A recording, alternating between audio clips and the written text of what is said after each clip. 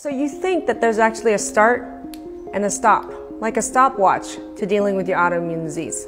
Someday, maybe six months, maybe after I pay for the kids' college or take care of this or that. And because we think we can just put a stop on it and the autoimmune disease is gonna stop while we put everyone and everything else first. Well, the truth of the matter is, is that you know that every single day that you're not dealing with your autoimmune disease, it is causing you permanent damage and it adds on. The cumulative damage of permanent damage every single day, adding more and more, becomes an irreversible mountain that's impossible to climb later. That's why the solution is really simple is that you got to deal with autoimmune disease now.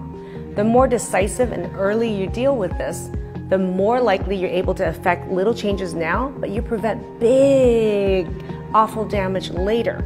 And this isn't just for you. This isn't being selfish. This is actually do it for them. Do it for your career. Do it for your children. Do it for your fam- family. Because preventing permanent damage is the key. I think about my life. There was several years in there where I put myself on the back burner. I was having severe pain. And I thought, I gotta make ends meet. I gotta keep working. I was a workhorse and I was supposed to provide. And as a result, I caused severe damage in my neck, so bad to the point where I couldn't even work. And during those two years, I was thinking, I'm doing this for other people, for my kids. But you know what happened?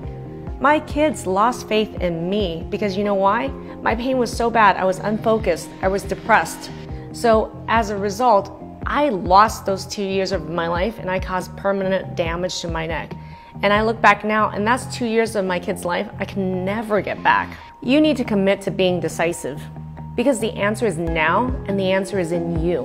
And if you're not doing it for you, do it for them. If you're ready to commit to turning your autoimmune disease around now, click the link and join our Facebook group now to join a community of people who are committed to learning more and doing more about their autoimmune disease now to absolutely secure their future of wellness.